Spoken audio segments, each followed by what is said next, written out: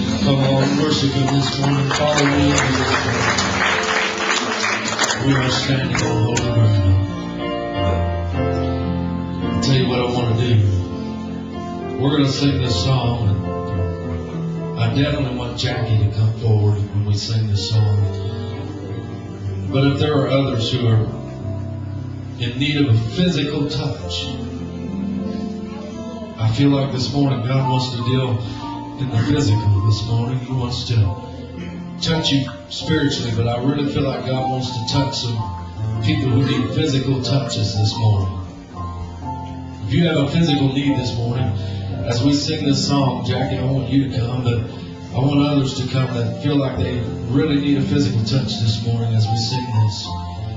We are standing.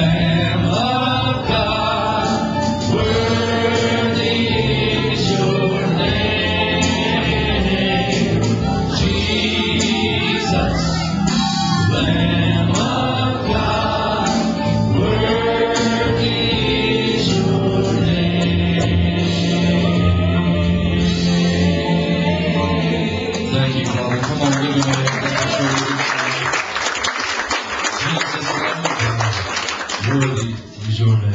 I don't know about you, but I came today for a reason. Some folks come to church because it's just a thing to do, and they feel better on Monday. They go to church on Sunday. But I come on Sundays so that I can receive. And today I want to receive something. I give to God everything, and guess what? He gives back to me. And today is your day to receive. And I believe you're going to receive something today, something special. God has something special for you today. And I believe He's going to speak to you in His way. And how many know He's, He knows how to speak to you? He knows how to talk to you. See, Pastor can say some things that you may say, oh, that's pretty good. But when God speaks, you go, oh, yeah, you're right, God. God knows how to speak to us, and He will speak to you today. I believe that with all my heart. Take your neighbor by the hand as we pray. And God, I just thank you today. I thank you for your anointing power. And I thank you, Lord, that you have visited us today and you're here with us today. And Father, I just I just want to do the best that I can, Lord, to lead and guide into a, a, a spirit, Lord, as we get ready to take communion. Father, I just ask you right now, God, that you just reach down from heaven, God, and you just do what needs to be done today. Lord, move in a mighty way. God, you've already touched us and you've already moved. And God, you've already done some miracles this morning. And God, right now, I just thank you for what you've already done. But God, we're looking forward, God, to what you're going to do in the remainder of this service. Lord, as Keith comes and, and leads us into uh, our communion, Father, we just ask that you bless it in a special way. And God, everything after that, God, we just know you'll have your hand on it. And God, everyone that leaves this place today, God, we want them to leave saying it's been good to be in the house of God. And Lord, that they'll be strengthened to move down the road, Lord, as they go through life. And God, we just thank you. We give you praise and everything in your precious name. Amen and amen. If you believe that, say amen. We're going to ask our guys to get together. Keith, come on up. And you may be seated. We're going to take a minute here to do communion. God is so good.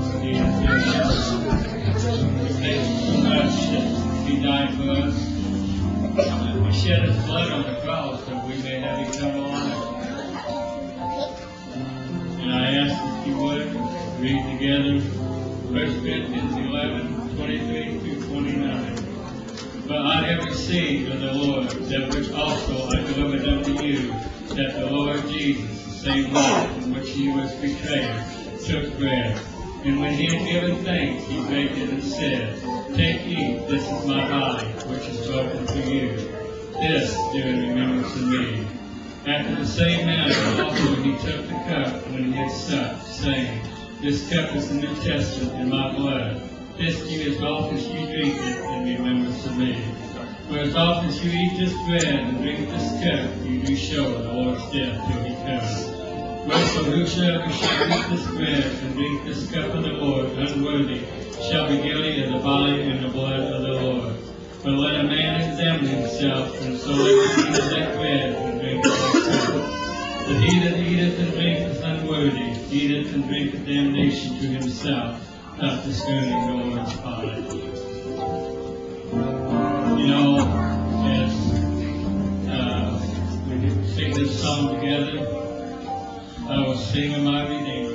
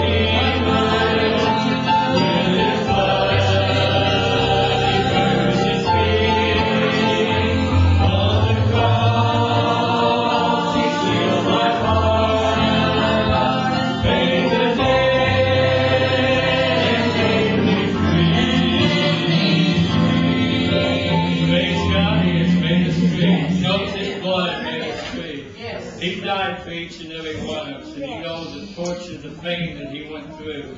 None of us has ever gone through that, but we, we complain at times, but what our Lord Jesus did for us, yet while we're still sinners, He died for us. I would ask if you lift up the prayer representing the body of our Lord. Our most gracious Heavenly Father, as we come before this morning, we do truly thank you that we have, we can't have communion, but let's do it in remembrance of Thee, because it is Thee that we remember when we take this communion, what You have done for us. We will give You the praise, we will give You the glory and honor for it. Amen. Take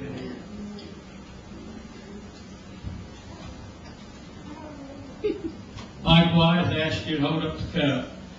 Our most gracious Heavenly Father, as we come before this morning, we truly thank you for this, that we're about to partake of the juice that represents the blood that you shed for us, the atonement of our sins, the atonement that you did it for us, that we, we can have eternal life, and we can have the, that intimate relationship with you and just serve you. And what a, what a reward we're going to have for serving you. But you died, you shed your blood, you were beaten, you were tortured.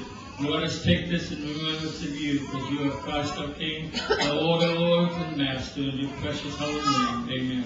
Praise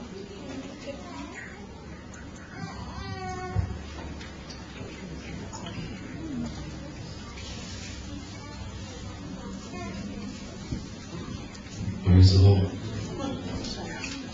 Isn't God good? We're going to ask Becky if she'll come and lead us in a few songs, and we want you to take a moment, a few minutes, to greet one another the Lord, shake somebody's hand, and tell them it's good to see them here today. We, uh, like I said, we had a good crowd last night, and a very good service last night. And today is no different. Today is a wonderful day, and a good crowd, God's moving, and people are happy. Let somebody know it's good to see them here today. God bless you. Just join in with each other and fellowship.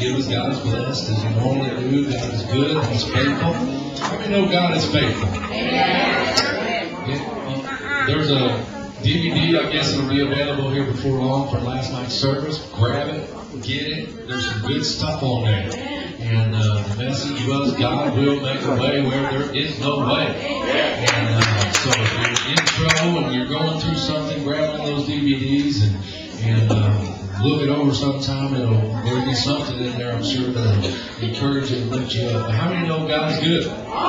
All the time? Praise the Lord. Let's pray over the offering. Father, we thank you today. We give you praise. We give you thanksgiving in our in our giving. And Father, right now we just thank you, Lord, that you move and you do what needs to be done in our lives. And God, right now we just pray, Lord, bless what comes into the storehouse. God, just give us the wisdom and knowledge, Lord, to use it to further your kingdom in every way, Father, to increase your kingdom, Father, is our, our, our desire. God, today we just ask that you bless those who give, bless those who cannot give. Lord, touch them in their finances, Lord, on their jobs, or Lord, wherever they may need finances to come from. God, we just pray that you just touch them there. God, we just give you praise today, and we just ask that you bless everything in your precious name. Amen. we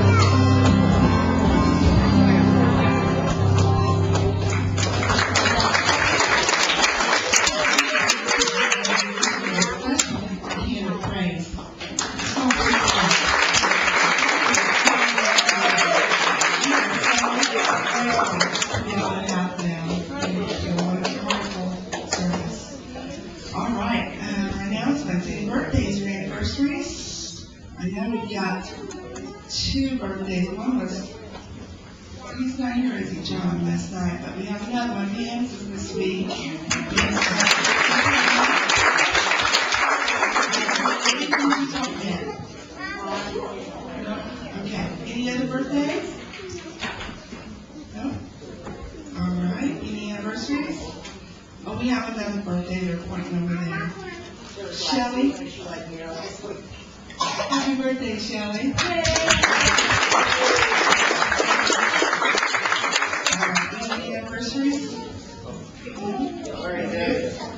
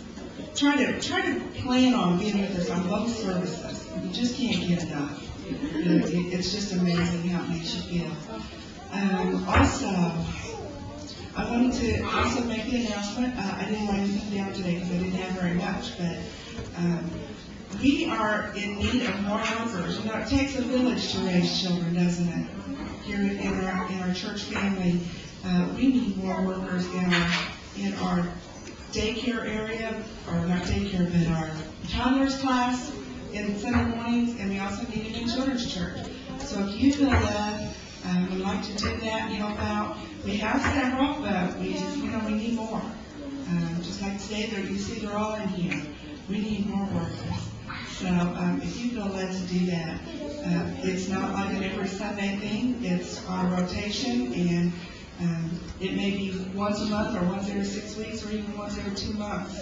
So that's not really asking a whole lot, so, um, uh, you know, pray about that. So, I think Pastor has one more. Yes, I want to announce something to the entire church today, which is great. I would like for Rick and Mike to come on up front here and face the folks. We're going to do a stoning today.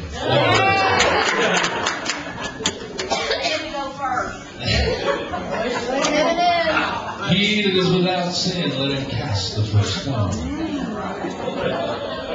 I'm gonna go outside and get mine. I want to make an announcement today. It is our privilege, and we're excited to announce this today. We have two additions, not replacements. These are additions uh, to our council and our board here at the church. And we love, uh, Rick and Mike has fulfilled everything that needs to be fulfilled to be in that position. Uh, they're, they're respected by the people. That's number one. I think they are. But that's number one and accepted by the people. But I know I can speak for them because we've talked and, and they are committed to this church. They're committed to this church body. They're committed to you. And today I just want you, if you would, to stand to your feet and welcome them as our council to the church.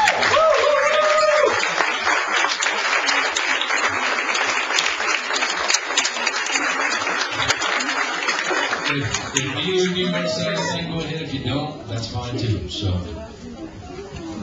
I'd like to thank the congregation of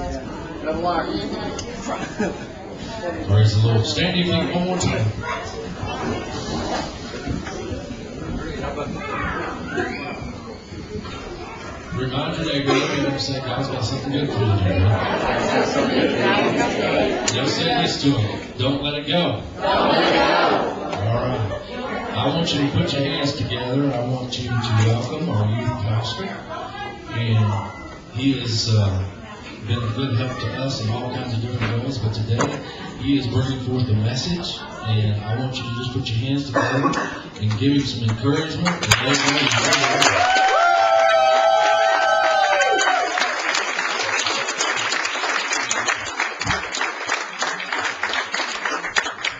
Great, I gotta live up to something.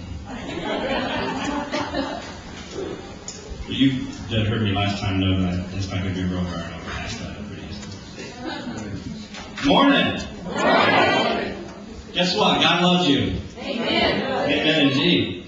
Um, you know, last time I was up here, I, I was talking about having, um, oops, I'm sorry, hang on.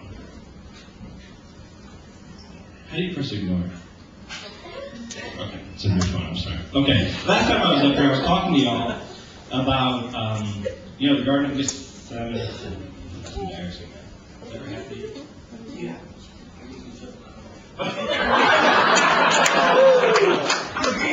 Wow. This is gonna be a tough room.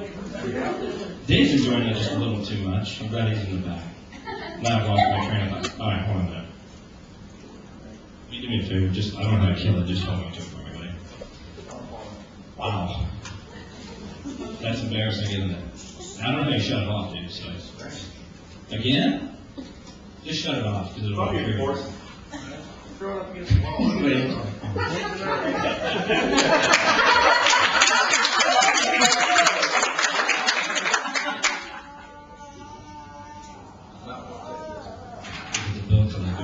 Church.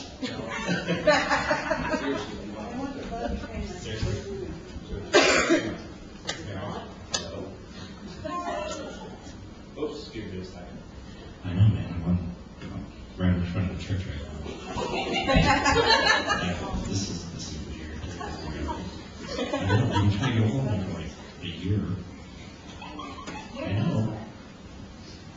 I, I had, well, then you put him on the phone and it's hard, you know, faster, so it's hard to say, Can I call you back? Can you leave a message or something? Alright, yes, I know. There's things you need me to do, I understand. I got you. Okay. Okay, it. I got you. I got you, man. I got you. No, I appreciate it. It's not real. There, it's fine. Just a little. Alright. You want to go talk to the pastor again? No, you're done with him? Alright, cool. Alright, good. Thank you. Alright, this, hit ignore or something next time. Sorry. Some calls you have to take, you know? I know a lot of people are sitting there going, God is not going to call you on the phone. I know. You never can tell. You never know who's calling. You never know who's trying to get a hold of you for how long they've been trying to get a hold of you. If he's got to get your attention on your cell phone, he's going to do it, right? So, um, just so for the record, I really would not have answered that had somebody God. Thank you very much. The name of the message today is called The Donut Guy. I know, right? I came up with that's kind of weird. Um, a couple people that I've talked to this week kind of have an understanding of what I'm coming from with this. And basically, it's out of Romans. So we're going to be going to Romans. If y'all have your Bibles, you can go to Romans, and I'll kind of give you the lead in here.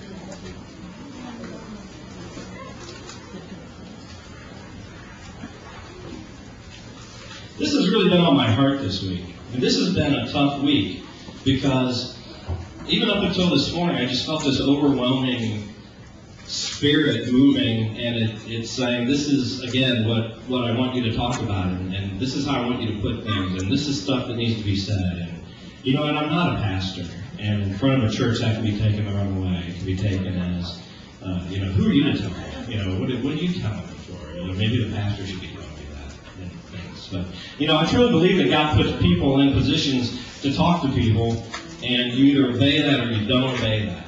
And a title doesn't make uh, title doesn't make you what you are. It's God that makes you what you are. Amen. So what I'd like to do is open up in a prayer. So um, and then we're going to do something right after that. So let's bow our heads and just open in prayer. Father God, we just ask for your words to be here today, Lord. We ask that this be about you, not about me. Let it be your message, not about what I have to say. Let people hear it with open hearts. Father God, we just love you, and we know that uh, that you're here. We know that you're here every week. We know that you're here when we're not, and we know that you're here when we are weak. And we love you, and we thank you for that, Father. And we just pray that we would receive this message today, and Lord, that it would be from you. In Jesus' name, amen. All right, one more thing. Let's bow our heads for a second. Again, this is not a prayer, so just close your eyes or bow your heads right where you're at. I don't want to embarrass anybody. This is going to be a biggie, all right? Um, if you feel that right now you're doing everything in your life that God has called you to do, raise your hand.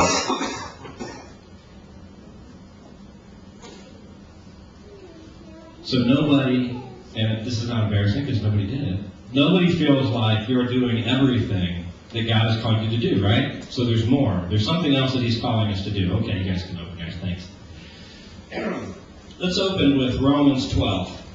And I'm going to go ahead and read through this. Because God gives us things, right? He gives us talents and He gives us purpose and He gives us, you know, when you're a kid and you're going, everyone's going, you know, what do you want to be when you grow up? And you're like, I don't know, maybe a fireman. That's cool.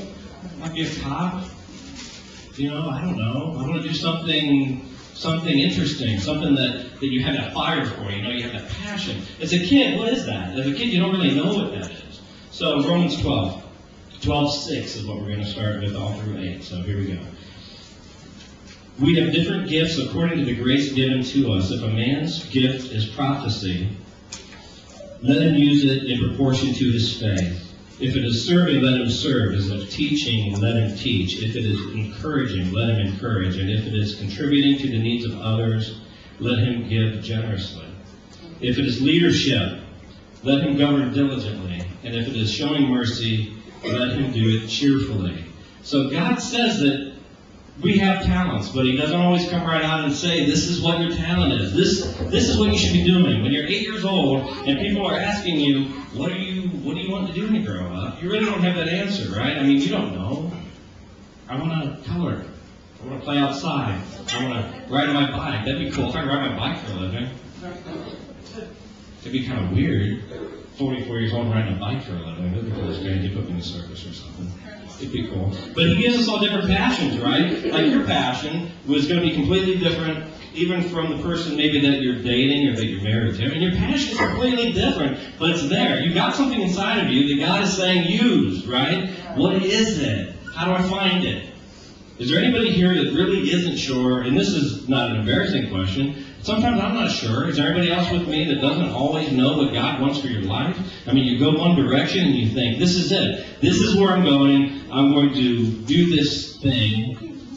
And then God says, in some fashion, that's really not what I have in mind for you. So, how do you do that? How do you figure that out? I don't know. That's tough. I think what you have to do is you have to understand what God does when He puts a passion in your heart. So I made some notes here, okay? Um, music has always been my passion. Music is not always Mary Margaret's passion.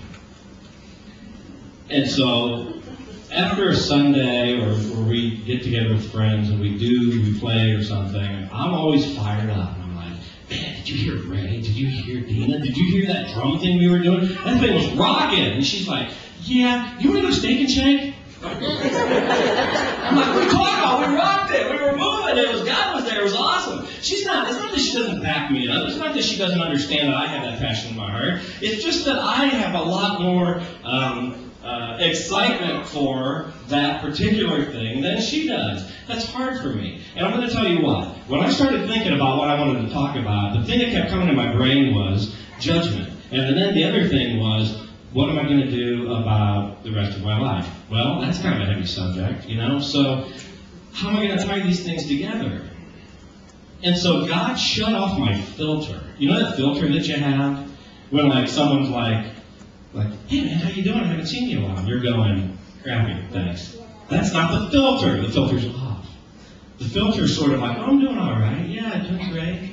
You know, how are you doing? You know, or somebody, God forbid, would ask you at that point, what do you think about something?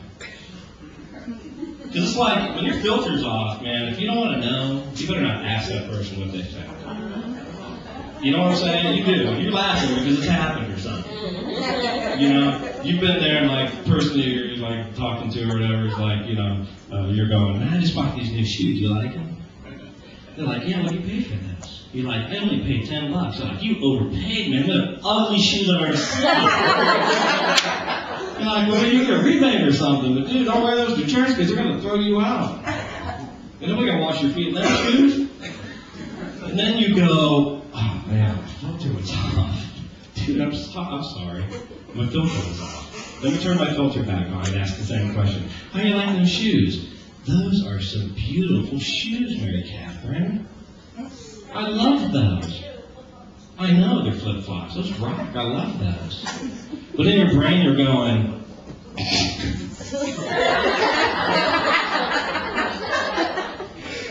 oh, really those. That. I'm not. How much counseling I'm going to have to pay for when they grow up? And I'm going to be going, it's your fault. Okay.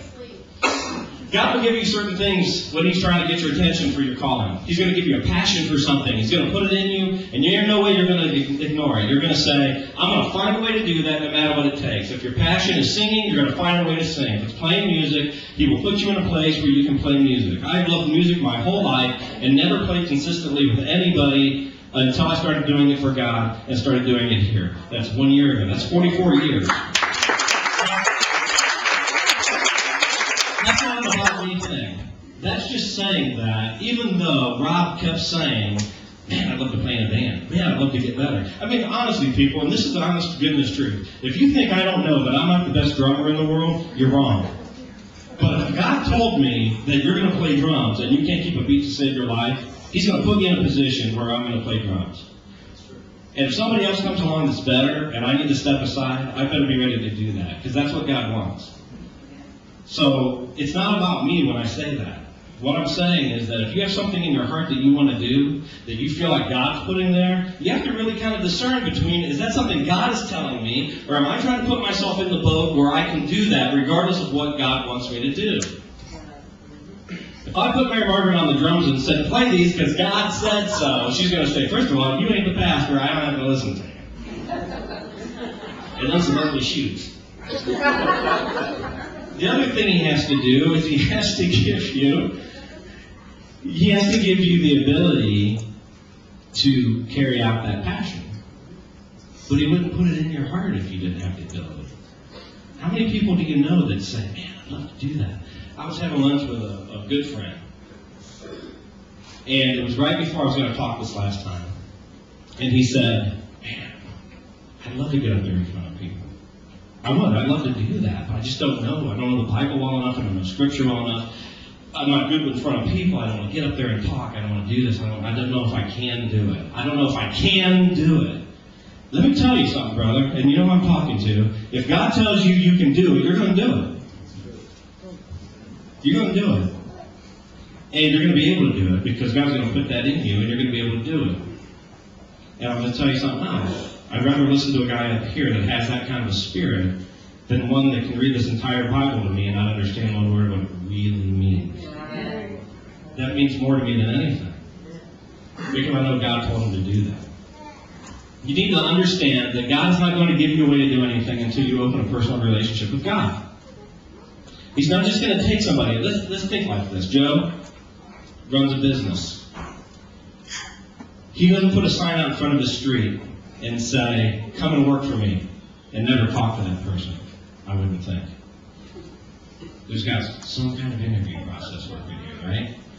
You interview, you get to know them a little bit, and you decide if that person's right to work for you.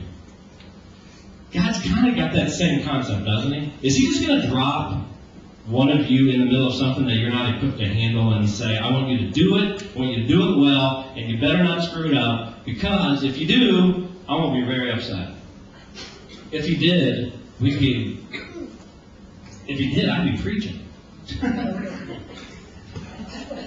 right everybody's head, didn't?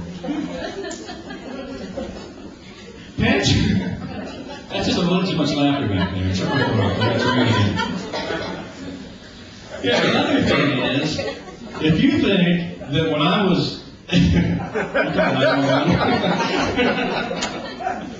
you have to know God personally. You have, to get in a relationship with Him for Him to understand who you are, and for you to understand, more importantly, who He is. He cannot use you unless you allow Him to use you. You can be resistant. Just because God says you're going to play music, you're going to preach, you're going to be in children's ministry, Joe, you're going to run a business, you're going to do this, you're going to do this, doesn't mean that we do it. it. Sometimes we say, I'm not doing that.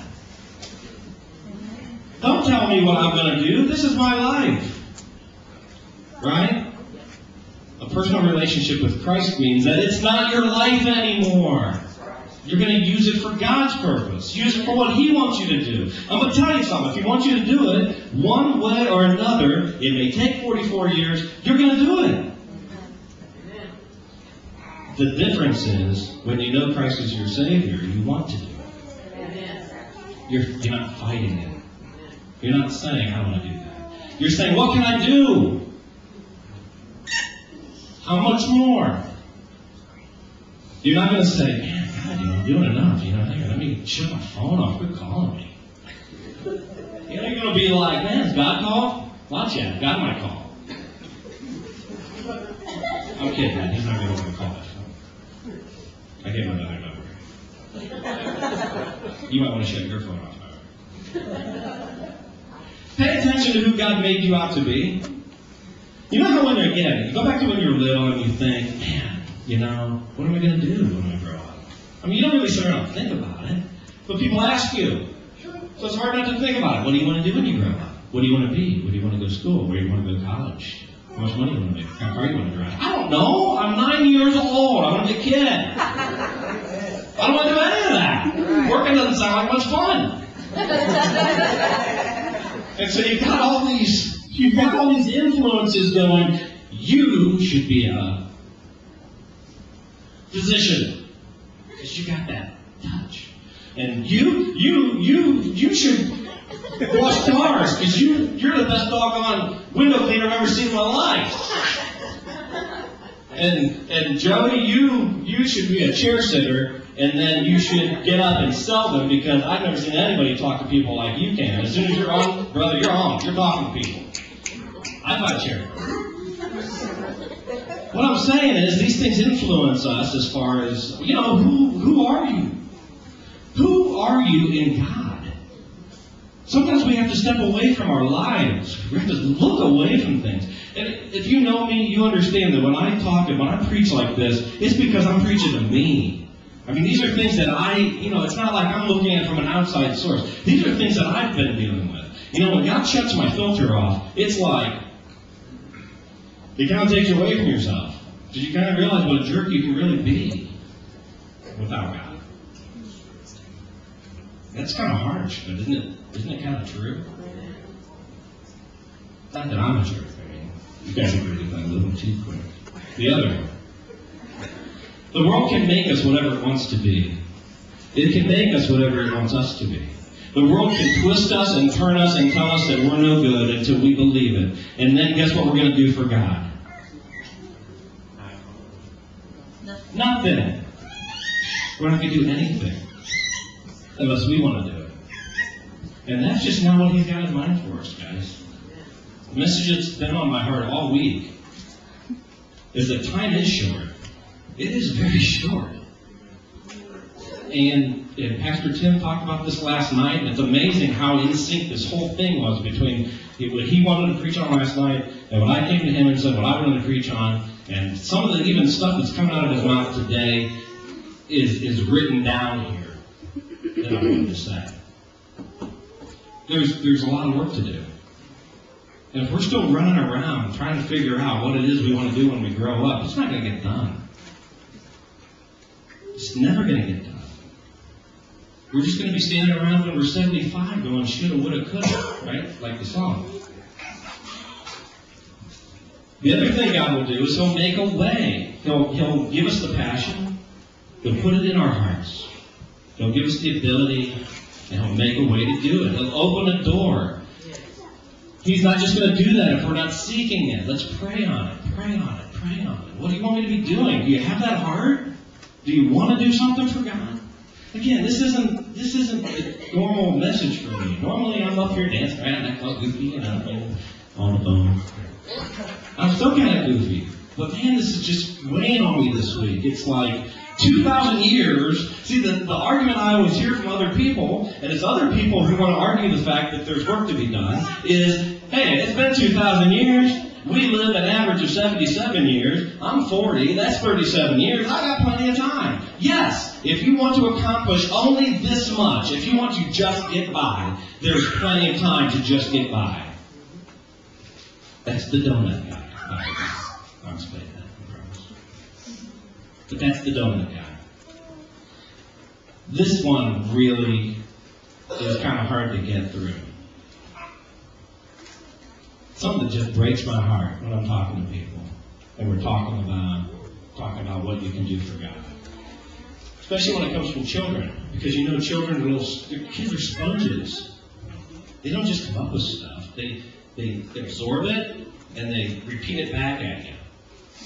So when you hear a child say this to you, it really just kind of grips me, you know. And I think, man, what are you, what are you doing? You're a kid. The one thing that I absolutely just can't stand is when somebody says, I don't deserve to work for God. Let me tell you something. There ain't anything you can ever do that makes you not good enough to work for God. Nothing. What could you have done that makes it so that He cannot use you? We heard a speaker one time and said, Man, I just feel like I'm always living in this cave. There's a cave of darkness around. I just, I can't get out of it. I cry, I plead, I pray. No matter what I do, I cannot get out of this cave, and I don't know what to do to get out of the cave. And this guy said, God does some of his best work in caves. He put you in a cave. You're there. Open your eyes. It's not just darkness. I can't imagine anything that anybody, and again, you can stand back there and you can say, hey, well, Rob, you know what, man, that's great up there on the stage. You don't understand a thing about my life.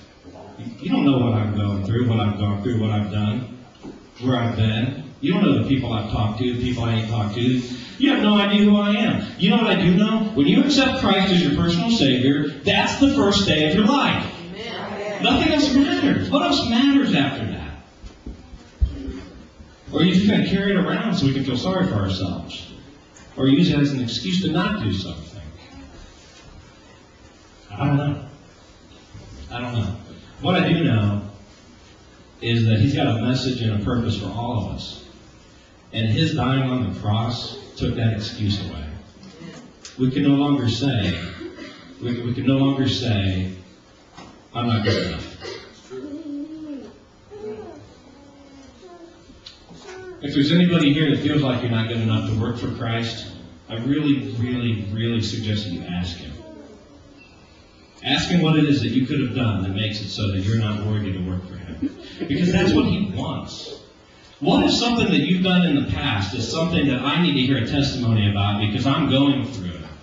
And there you sit, having gone through it. And maybe you're thinking, man, you know, I did that. I know how you feel. I know how you feel, brother. And uh, you're going to get through it because it took me a couple of years, but I got through it. Yeah, I got through it. What if I need to hear that? That's that's an awful thing to keep to yourself, just because it eats you alive. But what if somebody right beside you, sitting right beside you, says, Man, I really need to hear God today, and you're going, I'm embarrassed can say that thing. Now, listen, man, I don't mean like you're going to go up to somebody that you just sit next to and go, I kicked the puppy when I was 10. You know, because they're going to look at you and go, I kicked lots of puppies. Well, I mean, if you're sitting next to Dave. That's right, baby. What I'm saying is, we've all done things. We've all not lived a perfect life. There's nobody in here who's as good as God. Right? I also know that a lot of times what happens is that we talk ourselves out of being able to work for Him because of something that's happened in our past. And that's tough. Because that's Satan. It's a little shoulder. Remember the cartoon? What was the cartoon? They had a little guy on one shoulder going, eat the hot dog, eat the hot dog. And the other guy's going, don't eat the hot dog, it is full of preservatives. What was that about? Nobody remembers that, do they? It was something like that. It might have been a hot dog thing. You got this little guy on your shoulder going, do this, do this. No, you, need to do this. And the other one's going, don't do that because if you do that, you're going to get in trouble. One ends up tied up and thrown off a pit or something. I don't know. But the point is, you're always going to have that. You're always going to have somebody in your ear saying you can't do that. If it's not a physical person, it's going to be Satan. And it's going to be telling you, you're not good enough. Don't you get on that stage up there and act like you're all self-righteous and you've got it going on telling other people they need to work for God. What have you done for God? Look at your neighbor and say, what have you done for God? Now look at each other and say that say it in this vein. Now now use this as an attitude, same question. Look at your neighbor and say, What have you done for God? Don't you kind of feel like sometimes people can look at you and say, I don't know where you're getting off oh, being so high and mighty. I saw you buying girl shoes at the Payless the other day, Mike. What have you done for God? And he's like, well, you must have seen me coming out of the liquor store when you were saw me from across the Payless. Right, wrong. And it turns into this whole, what have you done, what have you done, look what I've done. Who cares what you've done? God is the only one that matters when you're trying to work for God. Amen? And Is this resonating at all with anybody? Is there anybody sitting here today going, you know, there is more stuff that I would like to do for God? I would like to do something for God. What is it? You know, Sister Dina standing up here today and saying, we need helpers, we need helpers, we need helpers. We do need helpers. You know how many churches there are today, I mean, like this day today, that there's people standing up on the stage right now, and because they're doing what they want to do, they're doing it. And because they feel that that's what God's calling them to do, they're doing it. And here we sit in this church among the most loving people that I've ever been around in a church. And there's people here that will work their tails off, and we're only a small group. There's churches with 900 people right now that can't get 20 people to run their children's department. And what's up with that? Why are they gone? I mean, I don't know anybody here that won't do what's need to be done in order for God to be furthered. Right? That's an awesome feeling. But what if somebody's sitting here today, and I'm going to tell you right now, there is. And I say this very, very cautiously because, again, I'm not the pastor. But I'm going to tell you right now that all morning long, and it's been tearing me out, there's somebody here, and I don't need anybody to raise hands, I don't need any of that stuff to go on. I'm telling you right now, there's somebody in here today, right now, who feels like they're not good enough to do what it is that God's calling them to do, and they're battling that, and they're saying to themselves, I'd love to do that, but, but, I cannot do it. Because if I do, someone's going to find out about something I've done in my past. This right here says that does not matter. I'm talking to you directly, whoever you are. I'm just feeling that. I'm telling you. This right here says that excuse is over. It's over.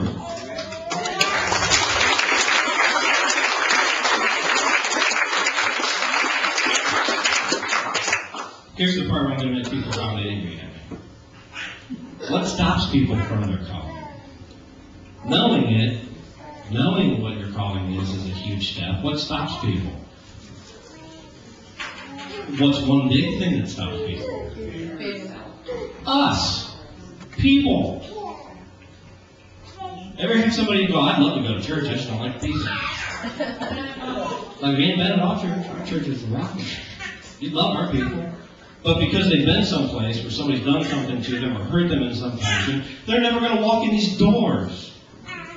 And you can talk to your brother in the face about how good our pastor is and how good he, he worships the Lord. I'm going to tell you right now, I've not seen a pastor that's done that to that extent. This man will stop where he's at in his tracks and pray if that's what God tells him to do. There isn't any agenda. There isn't any, I'm going to do this because uh, we've got to be on, uh, you know, we got to be out of here by 12 o'clock. You know, got hot dogs cooking. We got to cook out there. I mean, that ain't going to happen at this church. And that kills me that people won't come here because they've been other places that that hasn't happened. I'm going to tell you a story. There's a story of a, a young family looking for a church. And what happened is they went in there, they had a young boy, seven, eight years old, and they put him in the youth program. And this was a fairly big church. This big church, um, there was a very famous rock band that came out of this church, as a matter of fact. They still perform there. And this is a true story he got to start hanging out with these kids and thinking they were pretty cool, and we were getting settled into the church and all that good stuff, a little family. And they started making fun of this kid because of he, was different somehow. Well, you don't play music? You know, and he heard them, literally heard them talking behind his back at the church, these other kids. Now, if someone's in your face going, you look awesome today. I'm so glad you're here. And then you turn around and I'm going, hey, Rick, I wish you hadn't come today. Isn't it a shirt? not real. Not really. What's going to happen? You're going to you're going to say to yourself, what a hypocrite. There's a lot of them, isn't there? I'm not passing judgment. I'm just telling it like it is. There's people that will tell you to your face, I'm glad they already see you here. And then they'll turn around and they'll say, man, I wish that guy hadn't shown up today. And I'm sorry. I'm not saying it's happening here in this church, but that happens in churches every day. And it affects us in a big manner as the body of Christ. Because if we're not moving in a way where everything works together, then obviously something's working against the body of Christ. I pray that's not us. Uh, people stop people sometimes from coming to church. And by coming to church, I mean people that will tell you, I've been to four churches, I can't find one I like. I don't like church. I go in there, everybody's fake. The music's going. I don't like this kind of music. I don't like this. Well, I went in I couldn't find a parking spaces. I, I walked in and nobody handed me a cup of coffee, said good morning, wanted to hear my life story in two minutes. Or I went into a church and everyone wanted to know my life story in two minutes. Both, both will stop people from being involved in your church because it's fake. I mean, do you ever walk up to somebody that you just met and go, hey, it's nice to meet you. Now listen, how many times you've been married? I need to know this, I need to know this, I need to know this. No. We just need to open our hearts to people. And I'm going to tell you, when that kid got made fun of at that church, he was eight, nine years old. People talking behind his back. That, that kid was Kevin, my son. And I'm just going to say this because it's been on my mind. If that's you, if you're somebody who has something to say about everything somebody does, if you're one of those that in the mornings on Sundays you're glad they're there, but during the week you're telling people, I don't have the time of day for this dude, or this guy's doing this, or this girl's doing that. Can I just say, honestly, from my heart, even if you get mad at me, stop it. Because that kid's going to grow up to be 22 years old, looking for direction, and nothing you say to him is going to get him into a church like this. Nothing. Because he looks and he says, hypocrite. I went there. I've seen that. I got the I'm all about God t-shirt. But I haven't met anybody that's really all about God yet. And then we're just another family saying, no man, I'll tell you, this one's different. This one's different. You need to come. You need to experience this. That's hard. You know, have you ever been online and like, this, if you've done this, it's kind of weird actually. Have you ever gone to Google and put in um, area support group? Just leave it open ended. so put in like Indianapolis support group. And you're going to pull up stuff for like, I was addicted to mints. And I went to a meeting, and they told me that mints are okay. And so now I want to start a support group for those who love mints. I know, right? Google it, pal. It's there.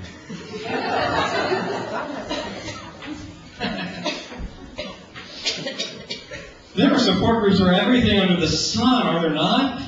I mean, if you stub your toe and you can't stop the bleeding, go on and Google bleeding toe support group, and you're going to pull up people with different colored band-aids you can put on, and little sad over here. You know, it, I mean, it's there. It's ridiculous many support groups there are. And yet there's people that seek these support groups, seek, seek, seek, and they're like, I wish there was a place where I could go and get support about God. And I'm like, it's church.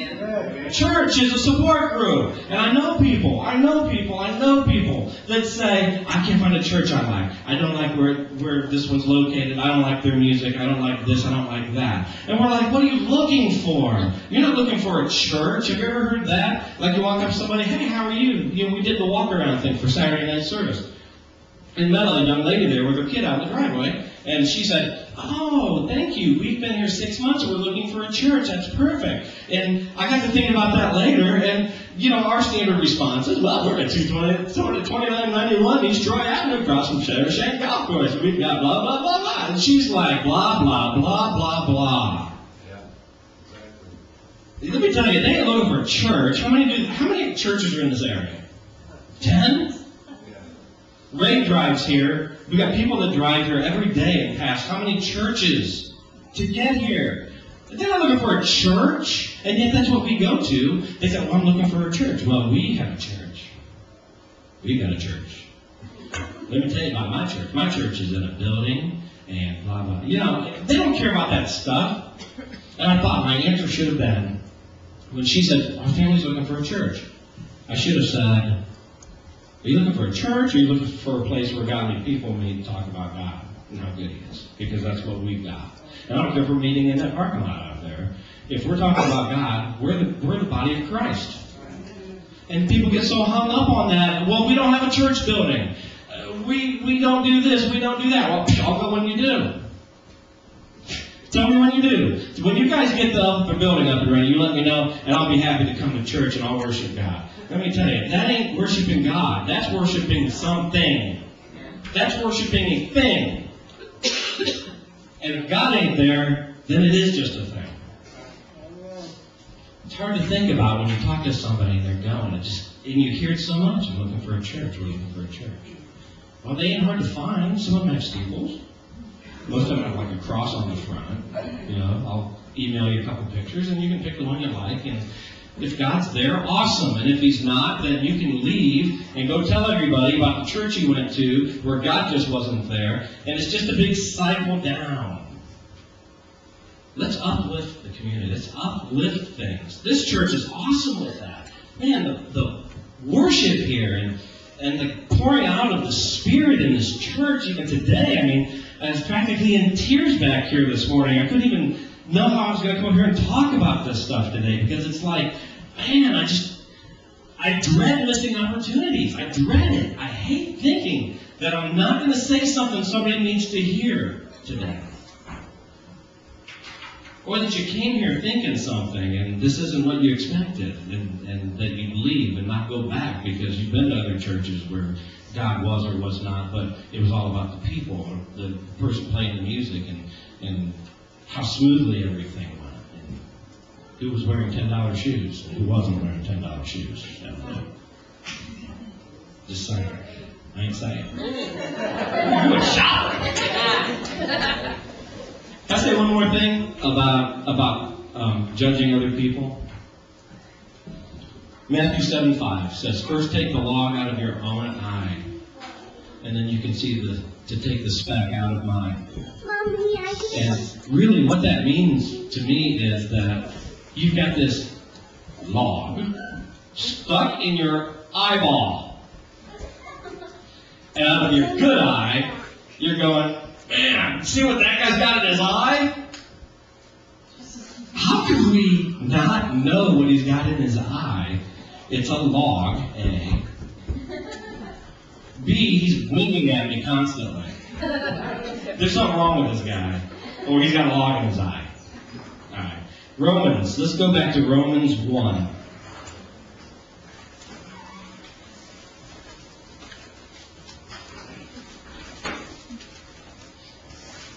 Let me know when you're there. Say amen. Thank you. Okay, we're going to go to 1, verse 28. See, the Bible mentions judging or judgment over 160 times in the Bible.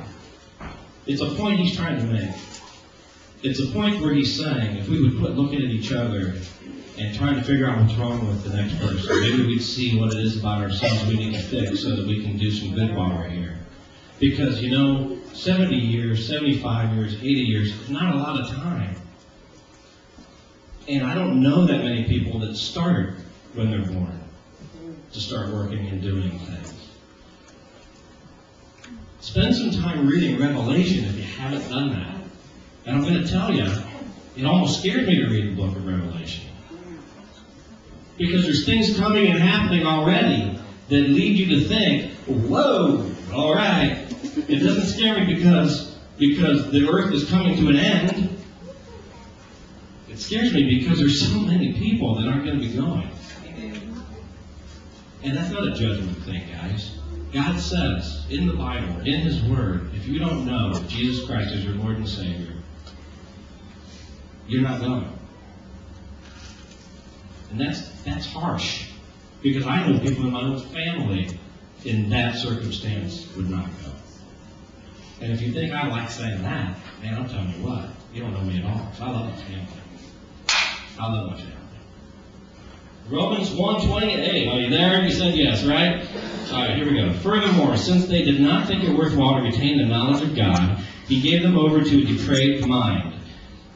He shut their filters off. To do what ought not to be done. They have become filled with every kind of wickedness, evil, greed, depravity. They are full of envy, murder, strife, deceit, and malice. They are gossips, slanderers, God haters. Ouch. Insolent, arrogant, and boastful. They invent ways of doing evil. They disobey their parents and are senseless, faithless, heartless, ruthless. Other than that, they're okay. although they know God's righteous decree, they do not.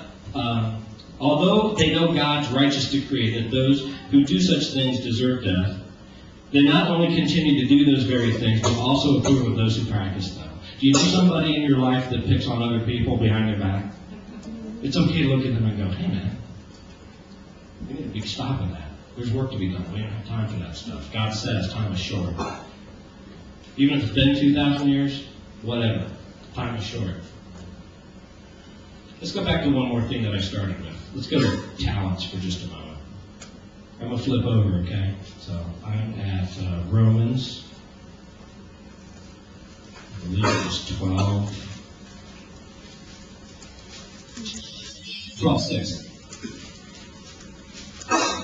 Because I know there's somebody sitting here thinking, I don't have a talent, I don't know what to do. I don't know.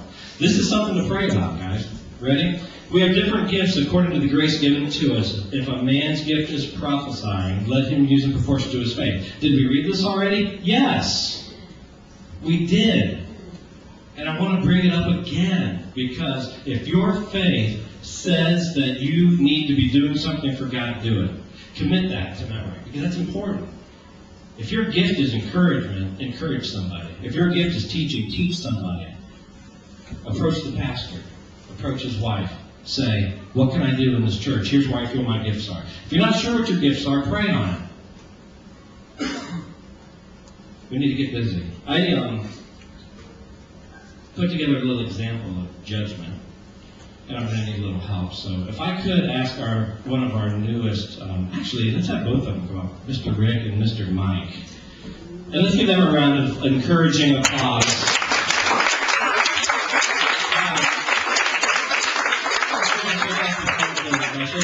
You're all serious today. But I can hear that today. I thought God was going to be funny.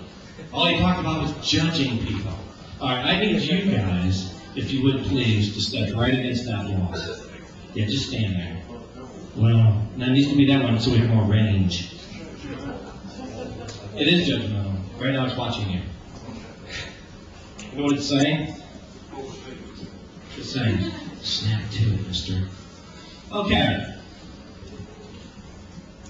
this is, has anybody ever been stoned to death? And I don't mean like in the 60s, 70s stuff. has anybody ever been like stoned to death? Like, okay, is anybody when you were little throwing rocks at each other? We used to throw dirt bombs, little dirt things, and you throw them, and big explode on the head, and you're going, that made a puff of smoke, that's so cool. And your friend's bleeding, that kind of thing. was I the only one that did that, honestly? Maybe I was the one getting thrown at, I'm not sure. Alright. One way that they took care of things way back when, fairly or unfairly judged, right, was that they would get angry mobs of people together who thought that certain people had done certain things, and they would basically take them to the edge of town and kill them. That's what we'll be doing today. what I need is this half of the church is going to be an angry mob. So when I point to you, I want you to say, kill him! I mean, yell like you're mad. Kill him! Strike him down! Take him out! Let's try it. Ready? Go! Kill him out! Very good. Not yet, she hasn't. Yes, you have. All right, this time, I want this of the church, I want you to say, no, but I want to kill them first. All right, ready? Yeah, so need to stay ready. All right, ready? Go. All right, we're going to get angry.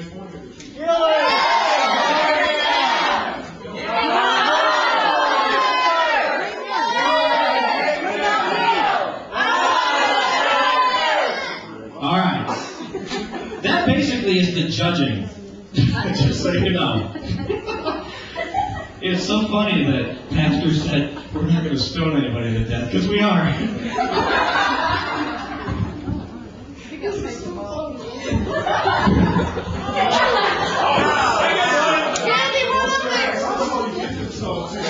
I know, what was I telling you? I'm just doing a little lawnscaping. All right, I need angry mom. One, two, three, four, five, six. I need six people. Raise your hand. Oh, the wives. Yeah, the two wives need to come up for sure. Two wives, come on. We're gonna put you guys right here. Okay? Who else wants to stone them to death? Oh yeah, you gotta come up and stone somebody to death. So we need two more. Oh, I'm sorry, I need four more. Three more. Um, yeah, you know, Addie, you can come up and throw a rock if you want. You guys get away from the window too. Elmer, Mr. Elmer, would you like to come up and throw a rock? Are you sure? Okay. Becky? Oh, I will. Pastor, would you like to throw a rock? Alright. So I'm gonna, one, two, three, four, five. We need one more. Before you stone I just want to welcome, Larry? welcome to the sanctuary. There's two forms of sacrifice that are going on. One, you hear me preach. Two, you get stoned to death. Pick your pick. Alright. How big of a rock do you want? I like the big one. Um, this is a big one right here. Hey, I could have cut a great big one. There's a rock for you. There's a rock for you. There's a rock for you. Do you guys have blindfolds? Does everybody have a clear shot? I mean, a good look at what's going on? Yeah, there's women about to kill some men. That's pretty accurate, girl. Okay. Now we have to do the judge thing. Do you feel that you have been well represented in today's tribunal? I want John Cotter. He's dead. That's all women. God can help us. Prepare either way. Wow. All right. Up against, you really seriously need to back up the window just a little bit. Yeah, we're good. All right. Are you ready? We're going to do this on three. You guys may want to turn around too. We're going to do this on three. And I'm serious. I want you to chuck him as hard as you can. People are like, if there's anybody here that hasn't been here before, is there anybody here that hasn't been here before? David. Oops. Bad Sunday. Not that bad, you're not up here, right? They're like, I'm going back to this church, dude. Were stoning people today. I never go back there again. All right, on the count of three, we're all going to count. On three, you're going to chuck them as hard as you can. One, two, three. All right? Ready? One. Two. There is one disclaimer I have to place. Those of you who are without sin cast the first stone. You guys are saved by the Yeah, let me tell you. You two need to stay up because there are going to be people that don't rock it. How you think the next fundraiser? Yeah. Instead of throwing pies, we'll throw rocks. We're going to need some bigger rocks. That's what I'm saying. All right. You guys want to stay out here more one, you can sit down when we went there. That was close, wasn't it? It's like, it's like, "Is the church today? I gotta tell you about this. You'll be on Facebook, right? I can tell you this. I almost got stoned in the church. It was so cool. They were gonna kill me. I'm serious. That's a fact. That's a fact. Yeah. yeah. All right. I'm gonna close with. Donut guy. Don't be the donut guy. Here's the donut guy. You get a bunch of people together, and you're working at somebody's house doing a service project. You're supposed to meet at seven. It's ten. You're just about done, but you're taking a break, and here comes who? The donut guy. And he comes in and he says, Man, that traffic was horrible. Can you believe all that traffic? What are you guys been doing, man? Well, oh, oh, you're almost done? And you guys are like, man, the work's already done. We're like nine tenths of the way done. What are you doing here? He's like, you're like, I'm sorry, I brought donuts. And you're like, man, the work's done. We ain't no donuts now. We're gonna go out and get some steak and shake or something. So here's what happens. You go through this life, and you're sitting there talking to all the people in heaven that you'd love to talk to, that you think right now, man, if I can talk to somebody in heaven, I'm going to find this guy. So you're going to find Jesus, maybe Peter, Paul, those guys. You're sitting around, you're talking, and you're going, man, what was up with that time that you did this? And here he comes. Who? The donut guy. And the donut guy comes in, and he's like, can you believe that life? Man, that life was horrible. It took me three hours to turn 90. It was horrible. I couldn't believe it. And you guys are like, you know, we're sitting here with Paul and all these guys, Jesus here, we're trying to talk, and here you come in late. I mean, the work's already done. Ooh, ouch. We've already done all the work. And he's like, I brought donuts. And you're like, man, we're in heaven. We don't eat donuts. We don't eat donuts in heaven. I mean, I'm sure they're there. There's got to be a certain corner of heaven that says, get your donuts here because they're just that good. But you don't walk into heaven going, I brought donuts because I was three hours late to a two hour party. I don't want to be the donut guy. I don't want to get to heaven and say, I'm here, what can we do? And have all my brothers and sisters looking at me going, man, you missed it, dude. The work's already done. Work's gone. It's done. There isn't anything else you can do now. Where were you? I'm stuck in life. Are we all? I think what we need to do is just reflect and say, how much can we do? Why are we doing it? And don't let anybody or anything tell you you cannot do it. That's not like a big pep speech where you go in there going, you can change your life. You literally can change your life. And you can do a lot of good. So Father, let's go ahead and pray. You need to pray aside with me too? Okay. Father God, we're just so thankful for each and every opportunity that you give us. Help us not to miss them, pass them up, Lord. Help us to just be kinder and gentler to each other. Help us to lift each other up in our encouragement. Lord, help us to help us to let others know that they can be worth of something and that it's good for you and that and that it should be all yours. Father, we just pray, Lord, that you would open our eyes to what it is that we're doing that might be holding a brother or sister down, not us to do anything that would cause a brother to stumble.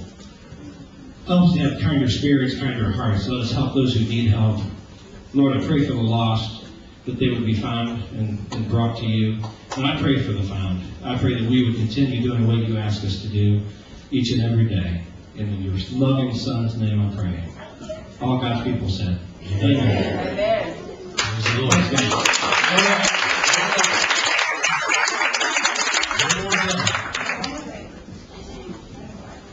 Yes. Um, Kevin and Shelby, would you help us? We just wanted to, we had to show you this. This was, this is just priceless. And, um, we don't normally have this many children, so it came together so well. Um, so we wanted, wanted to be able to show you all. Here, we need you over this way, Kevin, and You get them lined up?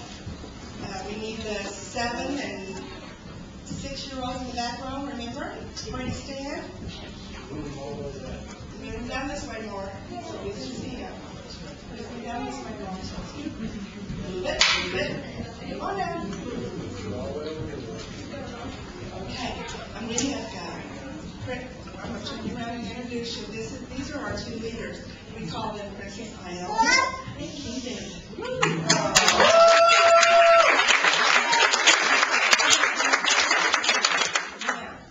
you guys in line like you should be? Are you ready? Okay, ready? I'm gonna put the mic down, so we're gonna be over here. Everybody can see you guys. You ready?